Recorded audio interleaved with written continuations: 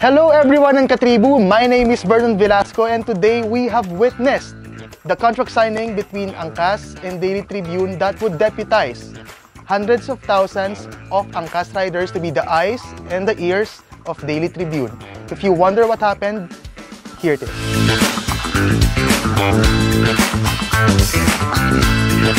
Hello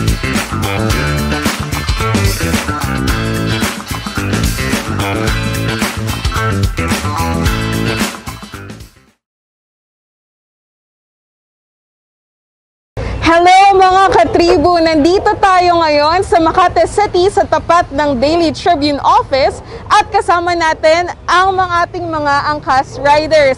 Today we are very excited to announce that Daily Tribune has partnered with Angkas para maghatid ng balita. Through this partnership, ano ba ang magiging papel ng ating mga angkas riders? Ang ating mga angkas riders ay magiging eyes and ears on the road ng Daily Tribune. So through this partnership, hindi lang maghahatid ng pasahero ang ating mga cast riders, sila na rin ay maghahatid ng balita. So ngayong oras na ito, magmamotorcade ang ating mga cast riders at samahan natin sila.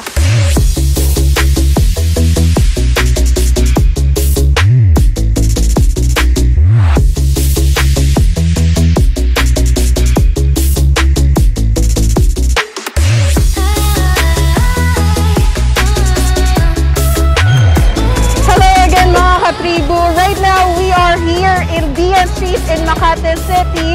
We are having a motorcade to officially launch the Daily Tribune Angkas New Squad. This is a partnership between Angkas and Daily Tribune. Again, hindi lang mag maghahatid ng pasahero o ng package ang ating mga Angkas riders. Maghahatid na rin sila ng balita. Sabi nga sa akin ni Kuya Jeff, na nasa ah, ni Kuya Jeff na isang angkas rider, sumakay ako sa motor niya. 15 to 18 hours sila nagtatrabaho pero through this partnership, they will earn extra income dahil maghahatid na rin sila ng balita. Sabi niya sa akin, halos araw-araw nakaka-encounter siya na aksidente.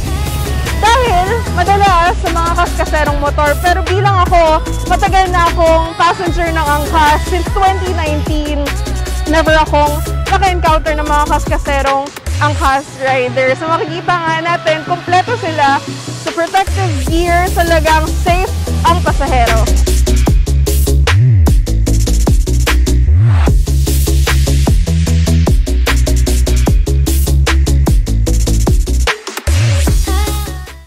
Daily Tribune ang Cash News Squad. Katandem sa kalsada, katandem sa balita.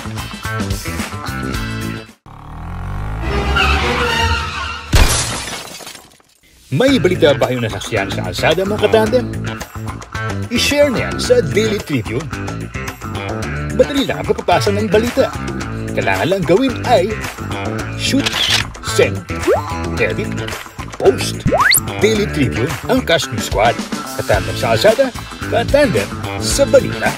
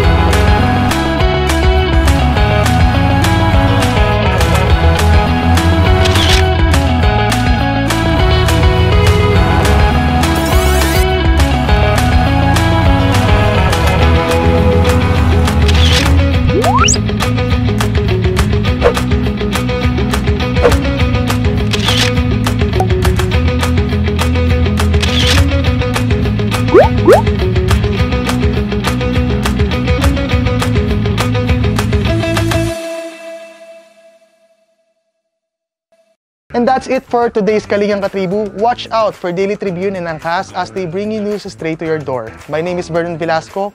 Good afternoon.